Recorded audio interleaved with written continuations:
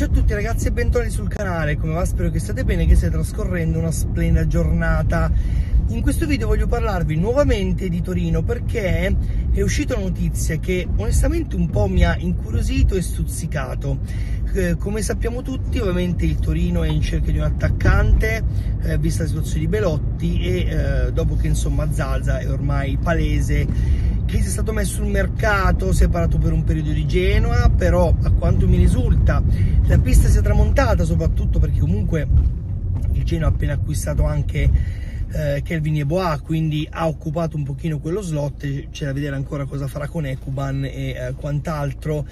Eh, per Zaz si, si, sta parlando anche di Venezia, da vedere insomma cosa si farà con Forte più che altro, perché comunque hanno Henry e Forte, avere un Zaz insomma rischierebbe di essere un surplus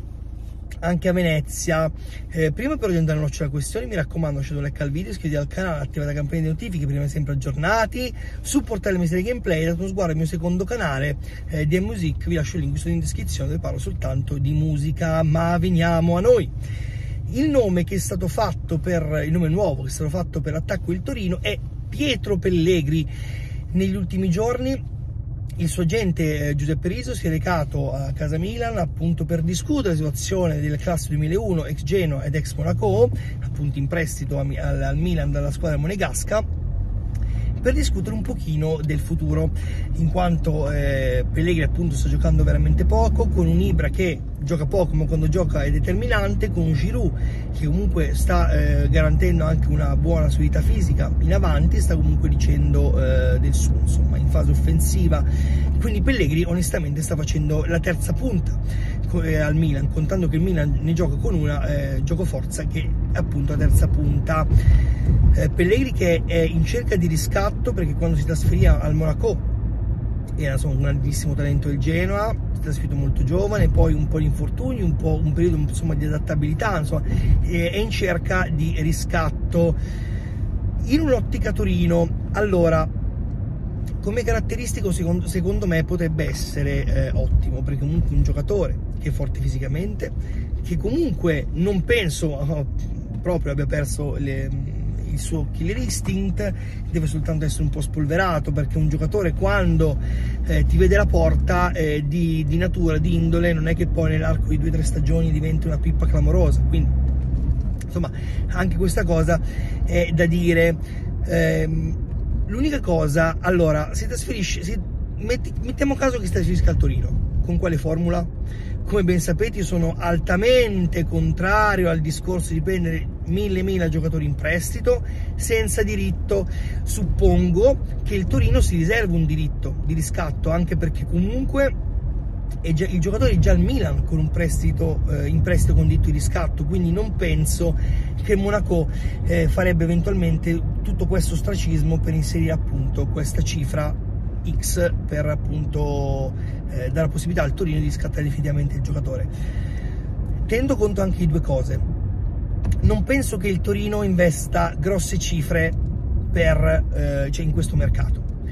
per due fattori. Il primo, eh, Cairo si è deciso a sborsare 10 milioni di euro per riscattare Brecalo, quindi comunque un costo.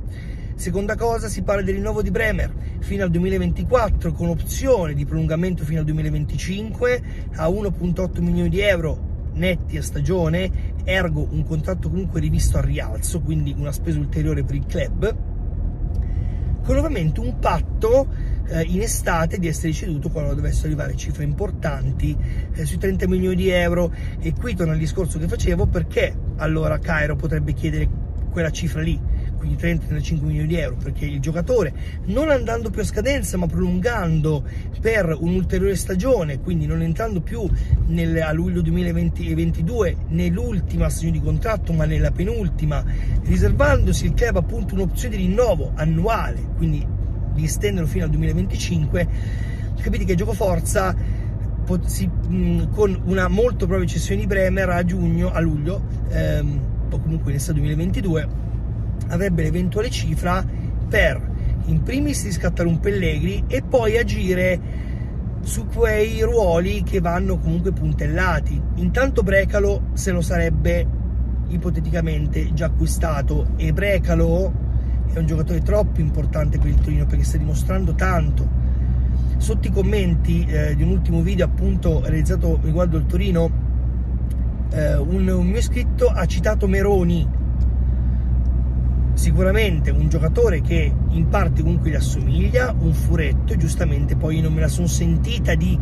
dire sì a questo paragone, ma perché comunque Gigi Meroni era tutta un'altra roba, ha rappresentato per, eh, per il Torino una fetta di storia tanto importante, Brecalo ancora deve dimostrare, non bastano otto mesi, sette mesi in una squadra per, per poter essere paragonato a un'icona. Quindi eh, keep calm ai paragoni, però comunque è un giocatore che sta rendendo tanto e secondo me in Juric ha trovato un allenatore che lo valorizza, valorizza appunto il giocatore per le sue caratteristiche e in questo modulo rende veramente tantissimo poi gli eventuali, gli eventuali altri soldi che magari andresti a far con Bremer, come li investiresti? È da vedere. Cioè, io ne, in estate poi non mi sento di fare eh, nomi tipo Rider, ecco, che è stato acquistato al Torino, 5 milioni di euro sembra sia la votazione, però quando tu ti eh, trascini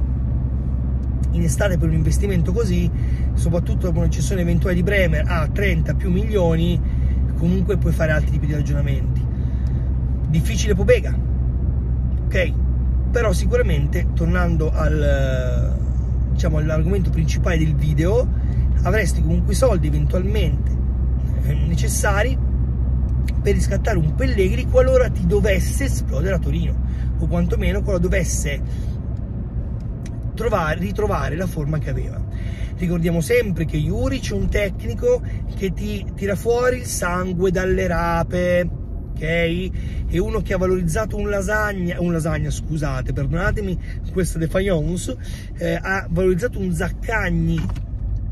che ha fatto con Juric delle stagioni clamorose è andato alla Lazio, a parte in qualche iniziale acciacco fisico, ma sta rendendo comunque bene. Quindi a livello anche tecnico io sarei veramente curioso di vedere Pellegrini al Torino. Perché un profilo un po' della serie Luca Moro, un po' della serie um, Marco Lazetic, ok? Uh, un po' uh, della serie Lucca, quindi fisicato, veloce, più che veloce, diciamo, uomo d'area, fisicato, che sa tenere botte fisicamente. Però, ripeto, mi stuzzica parecchio. Io onestamente questa traccia la seguirei particolarmente perché secondo me potrebbe essere un nome molto interessante per il Torino. Ovviamente fatemi sapere qui sotto cosa ne pensate, tifosi del Torino e non mi raccomando se vi è piaciuto il video lasciate un like eh, appunto al video iscrivetevi al canale attivate la campanellina supportate serie gameplay uno sguardo al mio secondo canale. Mi scuso nuovamente per questa location esterna dalla Davor Car però ragazzi purtroppo gli impegni sono quelli che sono e devo trovare devo ottimizzare il tempo per registrare e offrirvi un prodotto quantomeno funzionale. Magari in questo caso non bello ma funzionale. Vi mando quindi un abbraccione e ci vediamo al prossimo video. Ciao ragazzi